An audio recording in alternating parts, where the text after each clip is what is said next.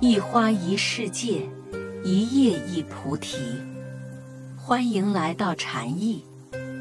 很多夫妻可能在刚开始恋爱的时候，或者是结婚不久的时候，都会过得很甜蜜，两个人时时刻刻都会想要黏在一起，短暂的分开也会觉得很想念。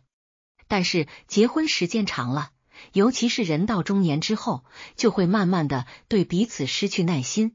最好的结果就是变成同居室友，还能够在一起和平的搭伙过日子，彼此之间的感情却早就被消耗殆尽了。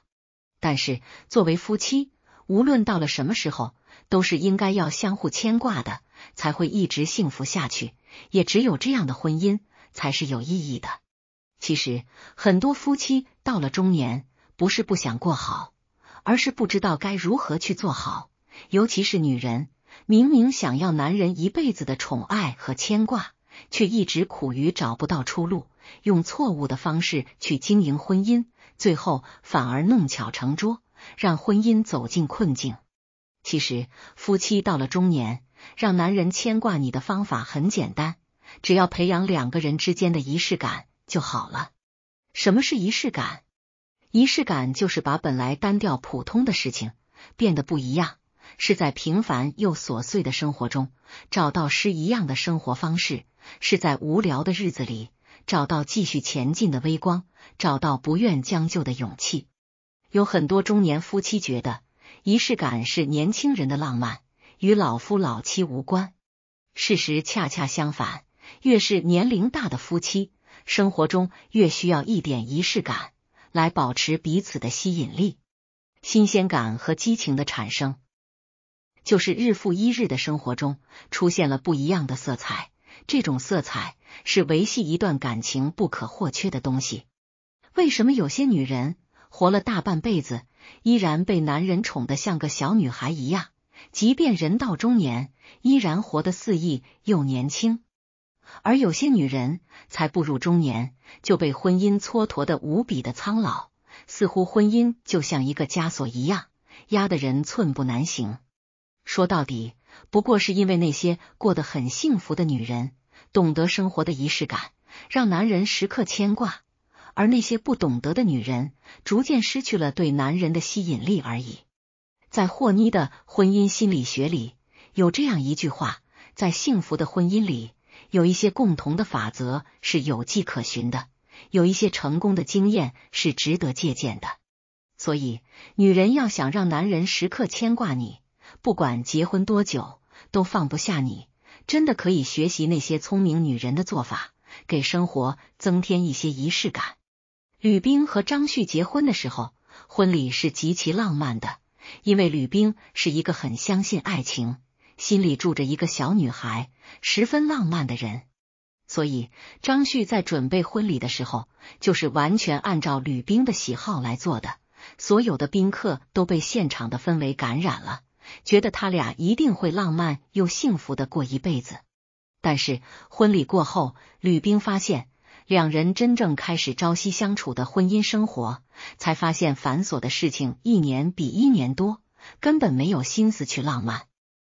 两个人能够把日子过得下去就已经很不错了，还哪有心思去搞那些仪式感的事情？一直到四十岁之后，两个人的生活才稳定下来。但是这个时候再看两个人的感情，就已经基本不存在爱了，感觉就是各过各的。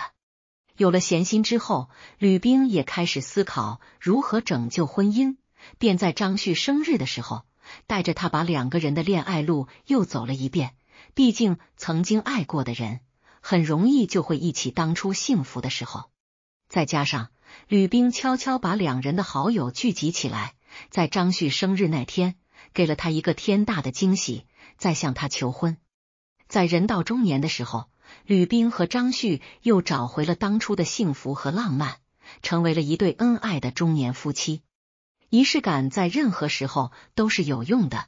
热恋的时候，仪式感可以迅速给感情增温；而夫妻到了中年的时候，仪式感能够有效的唤醒沉睡的婚姻，重新找回当初恋爱时的激情。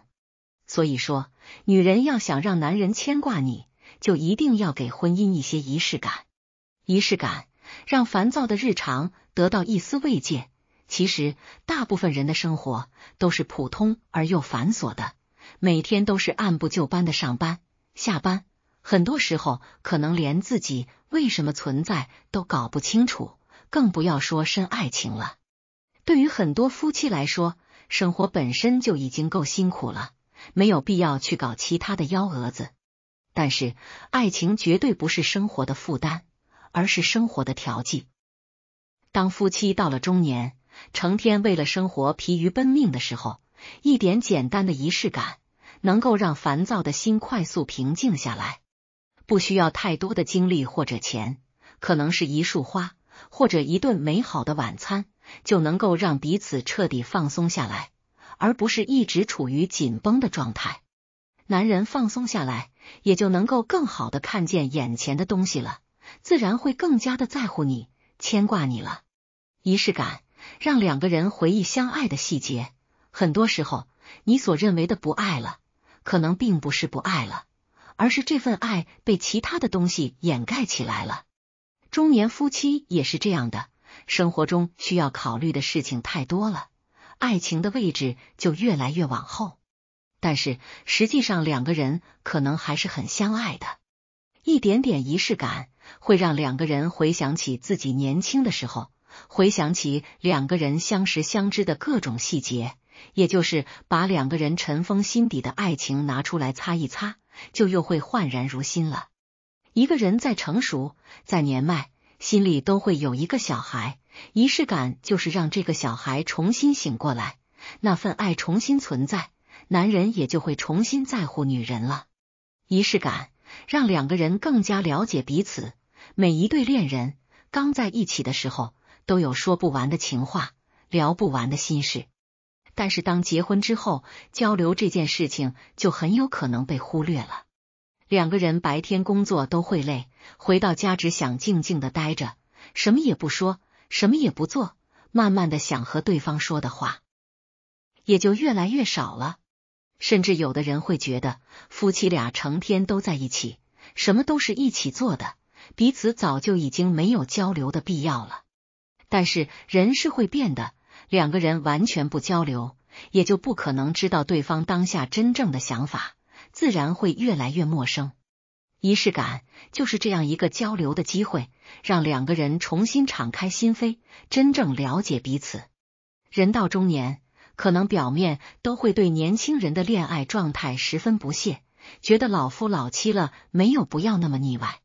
但我相信，不管多大年龄。两个人的内心都是渴望新鲜感和激情的，所以在平淡的生活中制造一点仪式感，不需要太大，能够让两个人开心就足够了。这是重新相爱的有效方式。相信男人很容易因为这些小小的仪式感，回想起曾经的相处，明白自己对你的忽略，重新爱上你，牵挂你。